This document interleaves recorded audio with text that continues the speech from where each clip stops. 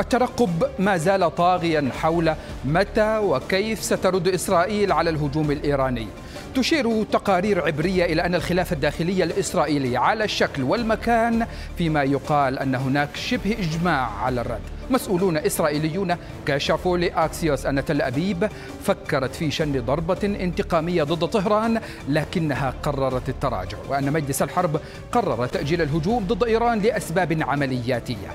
في حين أشارت مصادر أخرى إلى أن مجلس الحرب الإسرائيلي استعرض مجموعة من الردود بينها مهاجمة من وصفوا بأنهم وكلاء لإيران في المنطقة من دون استهداف أرض إيرانية. ومن ضمن الخيارات المطروحة أيضا مشاهدينا كانت تشمل شن هجوم سبراني من جانبه أكد وزير الخارجية الإيراني حسين أمير عبد اللهيان مرة أخرى على أن إيران أطلعت الولايات المتحدة بشكل مسبق على العملية وقال إن بلاده لا تسعى لتصعيد التوتر في المنطقة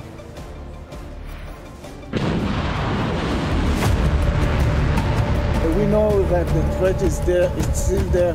The Iranians are capable to shoot to Israel missiles and UAVs and uh, cruise missiles, and this is exactly what we are preparing ourselves, as I said. And we have to say that uh, it is us together, uh, which is something very significant for the defense uh, of Israel.